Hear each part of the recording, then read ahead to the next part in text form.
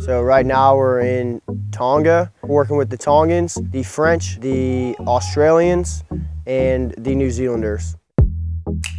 So the Tafakula is done every two years and this year Tonga is hosting it. For the first week of training here, we basically just did a lot of integration with all the different nations. Um, we did a 100 meter range, did CLS, and what was the third one? MCMAP. MCMAP. the Tongan boys were hyped. the, the boys were hyped up for them to the icebreaker between different nations, get to know each other better. Good uh, little morale boost before the exercise the next week.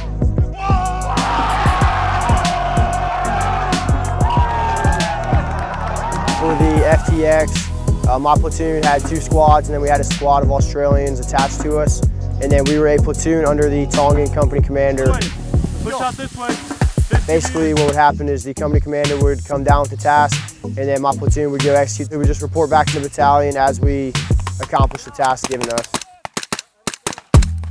My platoon take part in the exercise, gave them an opportunity to actually see what it's like to integrate with other nations and to learn from others. So it was really beneficial for myself and the team as well.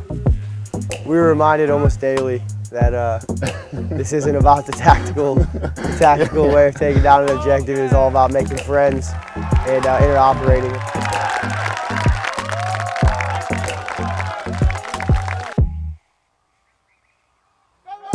We came out here not really knowing what to expect, but um, being able to work, like I said, with these different nations and coming out to an island that really, I, I didn't know where it was. I had to look it up once they told me I was going to Tonga, but uh, it's a beautiful, beautiful island. They're doing good things over here as, the, as their military and definitely wouldn't have come at all if it weren't for the Marine Corps giving me that opportunity. So uh, it's pretty, pretty awesome.